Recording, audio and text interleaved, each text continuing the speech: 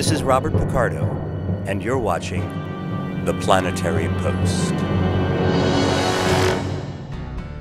Welcome to the Planetary Post for June. If you've got a taste for space, here's what's cooking.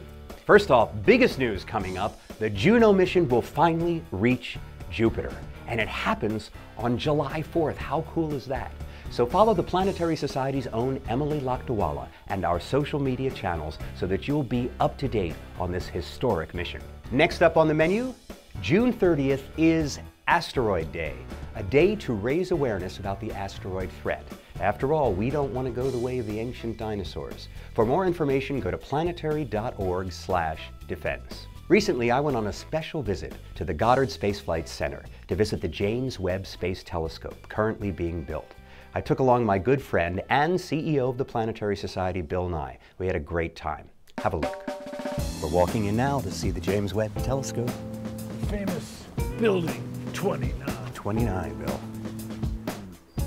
All right, I'm here at Goddard Space Center with Bill Nye and Amber Straughn. Amber is an astrophysicist, and she's going to tell us what this thing is.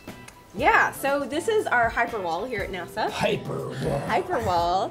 Uh, and what you're seeing here is a gorgeous image from the Hubble Space Telescope. But what's really cool about being here today is we're going to see the next generation in Space Telescope, That's right. the James Webb. It's going to be awesome. It's going to be about 100 times better than the Hubble Space Telescope. Let's go see the James Webb. It's huge.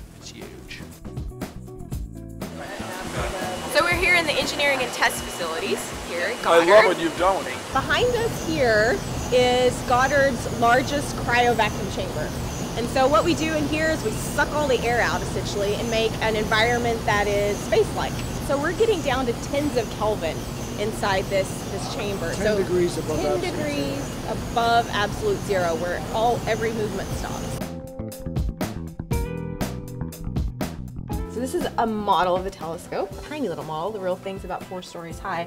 But the way this telescope works is that light comes in from the distant universe, sort of collects on this big mirror here, focuses on the secondary, and then comes back through the middle here, and the instruments are on the backside. And because it's an infrared telescope, it has to be kept incredibly cold. That's right, and that's why we're launching it to deep space, a million miles out, about four times further away than the moon. So this is a, a test element of the mirrors. And this is coated in gold. Yeah, so the whole mirror, about six and a half meters wide, is coated in a really thin microscopic layer of gold. Mm-hmm. So it's about the size of a golf ball. It's about the amount of gold. That's how much gold is on it. out over the whole.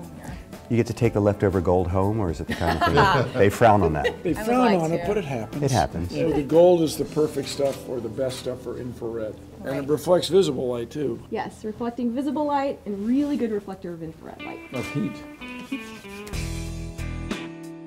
Man, that's the real deal. It's the real deal for sure. So we've just finished the mirror in the last several months. So the mirror is inside the scaffolding here, facing Okay, down. all right. So now the big thing that they're doing today is putting the instruments on the mirror. So this is a huge milestone for the telescope. I've been told that we will be able to see the first light of the universe with this telescope. What does that mean? So with Hubble, we've been able to push back and see pretty distant into the universe, but we can't see the very first galaxies that were born after the Big Bang. What this telescope is going to allow us to do is to push past that veil and see that first epoch of galaxy formation, all the way back to the first luminous objects that were born. And we will see exoplanets. This telescope is going to be, I think, our really our next big leap forward in understanding exoplanets. We'll be able to learn about their their atmospheres through spectra. Just a second. Yeah. Your claim, if I understand, is that we're going to see through the light's going to pass through the atmosphere of this tiny image, way, way, way out there. That's right. And we're going to look at the spectra of the gases in that atmosphere. Yeah. That is that is pretty cool, and it starts right here. Not bad.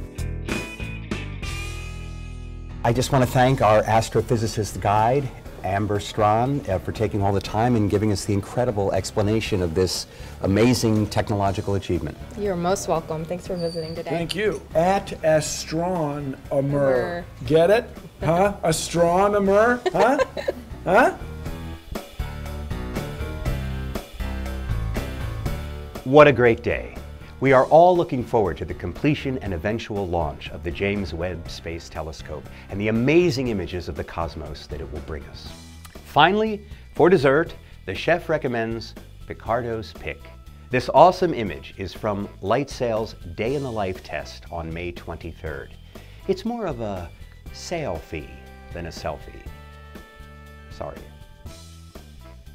On next month's episode of The Post, we'll have video of me in the CubeSat clean room at Cal Poly to see the actual spacecraft LightSail 2. So remember, come back next month for your next treat out of the cosmic oven. Anyone for Pluto Pizza? Yeah, I know it's not a planet anymore. It's a pizza. They gave me a James Webb Space Telescope refrigerator magnet. It has the shape of the mirrors and everything. I know, it's so cool. They gave me one too.